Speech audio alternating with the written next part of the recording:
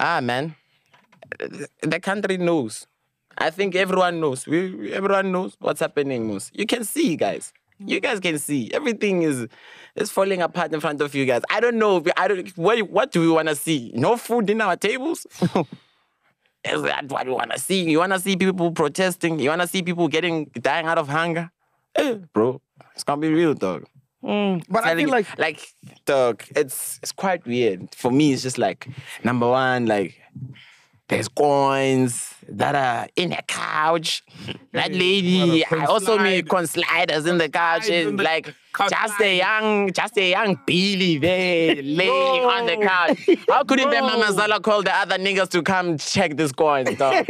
also me, I was gonna check those coins. Yeah, yeah. Come on, dog. Like it's, it's like for me, it's just ah, bro, like lento abayenzayo like to be quite honest like you see like i don't think like the amounts even like ama 2 million 2 mm. billion le mali zonke lezi like even we are crying. We saw the other day bafuna ukuspot Tottenham Tottenham. 1 billion. Indlala ibhokile eSouth Africa. It's bad dot bro. dot. Mm. Fuck yeah. it's bad bro. man. it's, it's bad